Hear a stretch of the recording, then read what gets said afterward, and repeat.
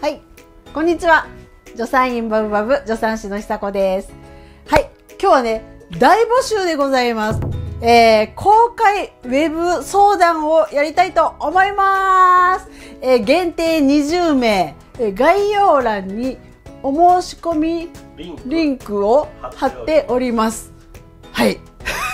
ので、えー限定20名です。あの、ここに申し込んでください。公開ウェブ相談を行います。頑張らんで、適当で、チャンネル登録よろしくね。新着動画の通知が届くよ。えっ、とね、助産院バブバブでは、えーウェブ相談っていうのをやってるんですね。えっ、と、半年前に沖縄に、あの引っ越ししてきたんですけど、大阪にいた時は、まあ、助産院バブバブに来てくれるおっぱいマッサージメインの、まあ、子育てあの育児相談も含めですけども、えっと診察が毎日毎日もうママたち親子がいっぱい来てくれてっていうそういう感じでやっててで一部ちょこっとウェブ相談があるよってあの遠いところのね北海道の人とかそれこそ沖縄の人とか海外の人とかあのバブバブに来れない大阪のバブバブに来れない人たちがウェブ相談っていう形を使って、えっとスカイプでやってるんですけどもあの相談を受けるというそういう診察をね行っていたんですよ。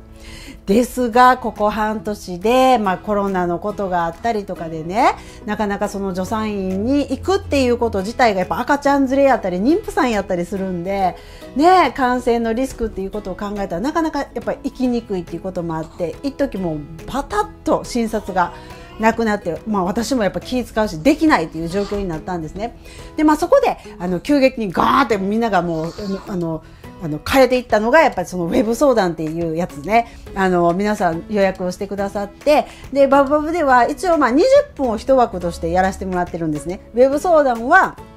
スカイプを使って、えー20分一枠で4600円であのさせてもらってたんですけども今そのコロナのことがあって沖縄に来てからは診察よりも来てもらう診察よりもウェブ相談がもう本当に増えていて枠がもう限られてるからねなかなか予約も取りづらい状況になってて本当に申し訳ないんですけどたくさん皆さんウェブ相談1対1でできるんですよね。みんなもうねやっぱりこう友達には話せない旦那に話しても理解してもらえないかといって心配かけるから自分のお父さんお母さんにも話せないとかでやっぱ悶々と考えてて話す場所がない相談できる場所がない。でやっぱ専門知識がなかったら話したところで「え大変なんや」で終わってしまう。だそんなんで話したってしゃあないしみたいなのがあってね。あの私を使っていただけるっていうことが多々あります。うわ久子さんや本物や。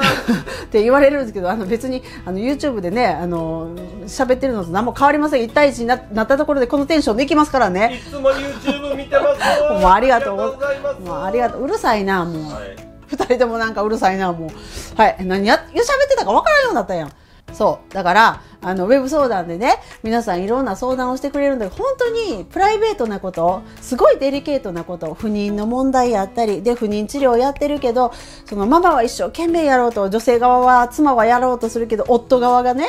旦那が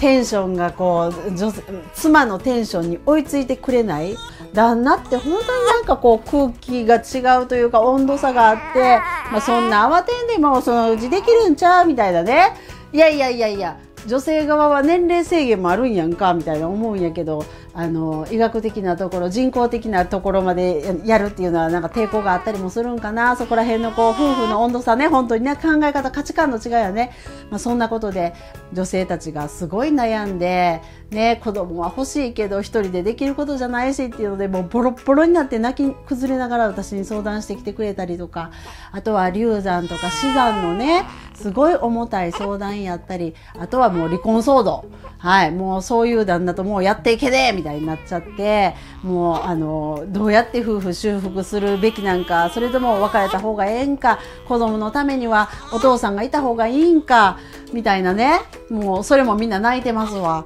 まあ、そんな相談があったりあとはまあおっぱいミルク足りる足りひんですごい悩んでたり子供の成長発達について悩んでたりママ友のことで悩んでたり義理のお父さんお母さんとうまいこといけへんで実母とうまいこといけへんでママ友とももう本当にありとあらゆる相談があります。でその一つ一つにあの相談乗っていくんだけど、まあ、私もその相談ねカウンセラーのなんか資格があるわけでもないしおこがましいんですけどね。あのこれだけ12人産んで22年間の子育て経験があって、まあ、たくさんのいろんなタイプの子どもたちを育ててきたっていうことぐらいの経験値しかないんですけどね。あの年齢も皆さんよりまあちょっといってるっていうのもあります。46歳やし。で離婚も経験したし再婚も経験したし。あの一部バラバラになって会えてない子供がいるっていうのもあるし再婚相手との間に不妊治療をして子供を授かったっていう経緯もあるしまあいろいろ経験してきました。なのでそこら辺を踏まえて私に力になれることやったらっていうことで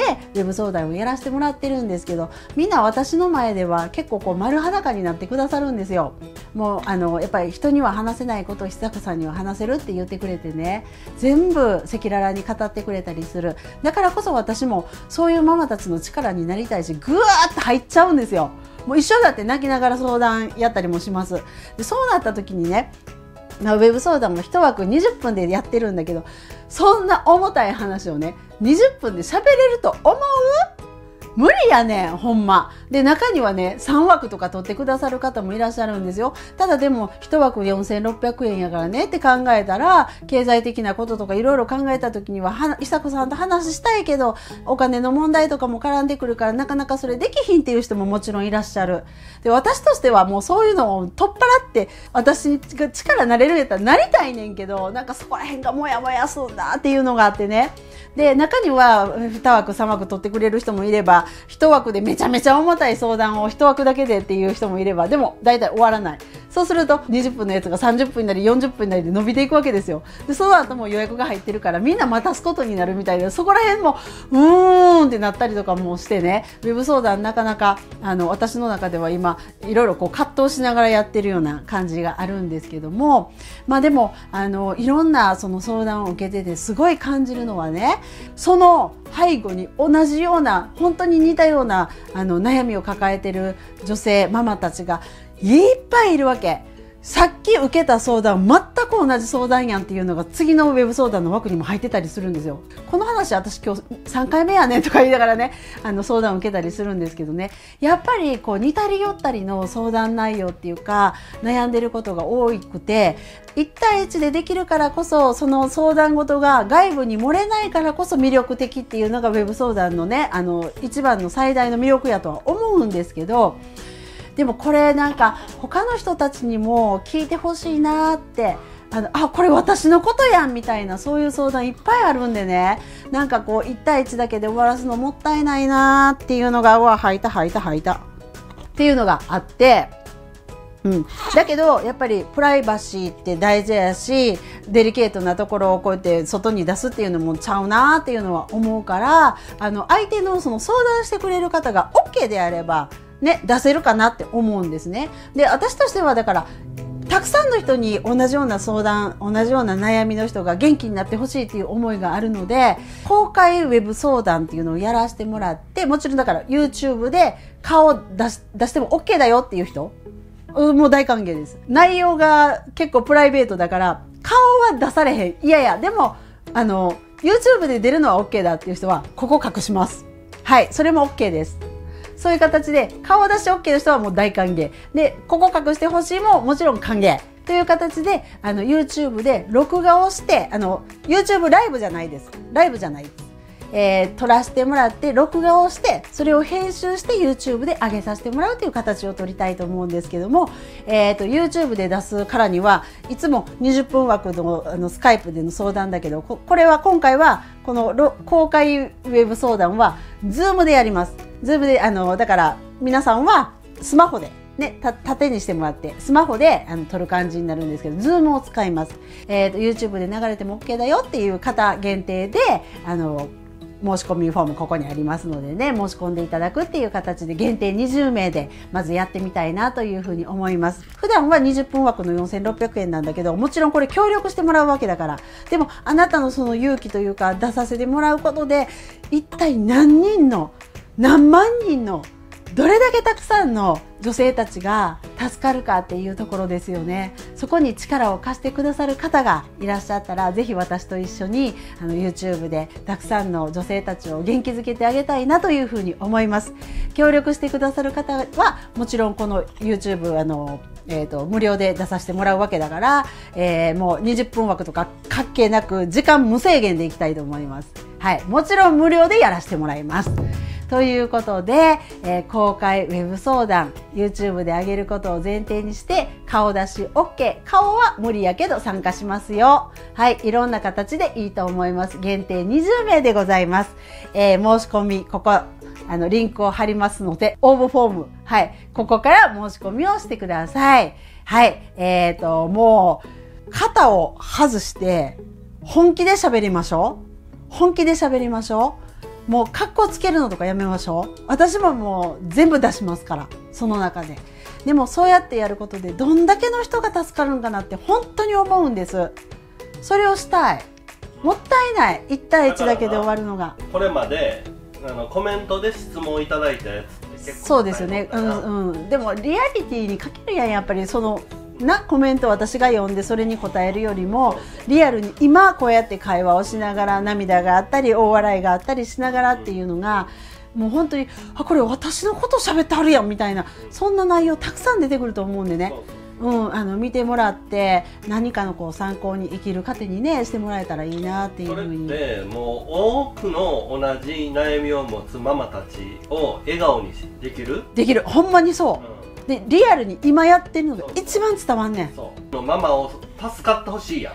元気になってほしいやん。そう。そのためにはな公開でさせてもらったらむちゃくちゃそのパワー大きいん違うかなっていう。そうやな。できっとそのね相談をされてる方もね、まあ、これは私の価値観やからごめんね。あの合ってる間違ってるは違うからね。あの私の価値観として聞いてくださいね。その相談してくださる方もそうやってその自分の相談を持ってたくさんの人たちの役に立ててみんなが笑顔になってくれるそういうために自分が今悩んでてでもそれはただ悩んでてネガティブではなくてそれがあるがために自分も元気になれのたくさんの人を助けれるって考えたらなんかちょっと前向きになれるやん。って思うんですよねだからそんな風にあの相談したい人もいっぱい悩みを抱えて葛藤がいっぱいあるんやと思うねんけどなんかそういうちょっとこう価値観を変えてみるっていうか発想の転換でね自分がこの悩んでることによってたくさんの人たちが元気になるそこに力を貸すためにあのそれをしたらきっとね世のため人のために何かやったらきっとそれってそういうのって返ってくると思うね私。だからこそ私は今丸裸になって全部こうやって喋ってるし自分のこともなんか恥ずかしいこととかも全部喋ってるし自分のお腹も見せるし帝王切開の傷も見せるしさそれってもうとにかく役に立て立ちたいっていう気持ちだけなんですよ。熱い思いっていうのは結局自分に私返ってくると思ってる。それをすることで私自身もハッピーになれると思ってる。だからやってる。はい、そこそういう私の考え方にあの共感できる共鳴できる方々だけでいいと思う。それは違うよっていう人ももちろんいるからね、うん、共感できるよっていう人だけでもちろんいいと思うのではい。限定20名。私と一緒にウェブ相談時間無制限で YouTube に上げるその相談を協力していただけないでしょうか。録画なんでその内容は調整はそのもうどうしてもここだけは嫌やっていうああそうやね。カットできるそういう意味、うんうん、言ってもらったらな。カットもできるしあのちょっと勢い余って喋ってもうたけどこれこれはここちょっとカットしてとかもあの後で言うてもうたらもちろんそれは配慮させてもらうしね。顔出しの人たちね。そういうこと。うんうんうんうん。あのそういう形であのライブではないので喋ったことそのままボン出てしまうんじゃなくて撮って録画して編集して出しますのでそこら辺もあの安心してもらったらいいと思います。顔出しは大歓迎。目を隠すも歓迎でございますのではい。申し込みのフォームからあの申し込みをよろしくお願いします。はい、えー、12人目産んじゃいました。助産師佐子の子育て学校。チャンネル登録してぜひ入学してください。私と一緒にママたちを元気にしましょう。そうそうそうそれそれそれ。おおお申言うの、うん、申し込みお願いします。応募お願いします。言うの、うん、応募お願いします